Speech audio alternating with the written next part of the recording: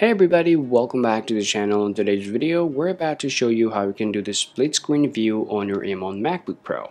At the same time, we'll also be showing you how you can exit the split screen, okay?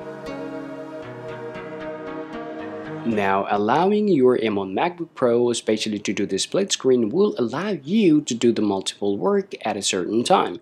Now, if you want to do this, there are a few things you have to do. First of all, you need to choose between the applications. Now, you can do up to two applications at once. You simply can use them on your screen. Now, for the sake of this video, we will choose a Safari browser and the Firefox browser to do that. Now, first, I'll open up the Safari browser, and next, I'll open up that Firefox browser. Now, once you've opened up your browser, now if you put your a mouse right on here and then it's going to give you these three options. First, enter the full screen. Second, tile window to the left screen and the right screen okay? So I'll choose it to the left screen. And right here you're going to see that another window is going to popping on especially if you have opened up these applications. Now keep that in mind your split screen view may not be available for every single applications. Now it can be a great example for the app store because it doesn't really work in that apps.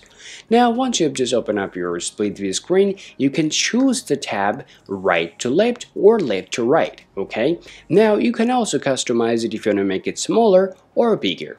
And the next things you can do, you can use your forefinger and you can just simply you know drag it up and then you'll be able to see there will be another windows opening right on top and you can add another windows if you want to well adding another windows will give you the complete and fresh desktop on your macbook pro now the question is how you can simply remove that split screen on your m1 mac Alright guys, now if you want to just exit the split screen, the first things you have to do is just go ahead and use your forefinger, swipe it up, and then you need to choose your desktop. Now once you've come here, simply click on this arrow icon right there, and then you're going to see your two windows going to pop up on your screen.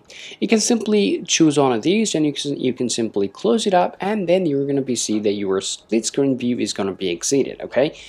And also another things you guys can do. Now imagine let's say you are on the split screen right now and then you simply can close one of these from here and then your split screen will get closed. So this is how simple it is to use the split screen view on your M1 Mac and this is how you can do it. Hope you find this video useful. If so be sure to leave a like and subscribe to the channel. Thanks for watching and I'll talk to you all later